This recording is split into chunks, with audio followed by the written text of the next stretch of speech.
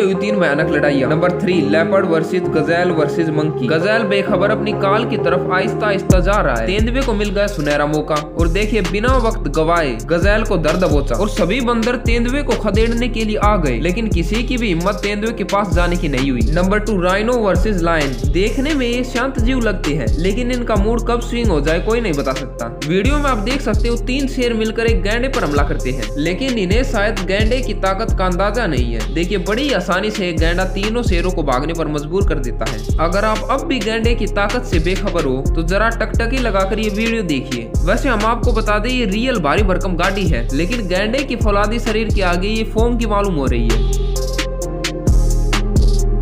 Number one, tiger versus bear. बाघ अपने मज़बूत पंजों और शरीर के बल पर भालू को दबोच लेता है, लेकिन पूरी ताकत के साथ भालू बाघ पर हमला कर देता है। आप देख सकते हो भालू घायल भी हो चुका है। ज़िंदा रहने की चाह के आगे बाघ को झुकना पड़ा।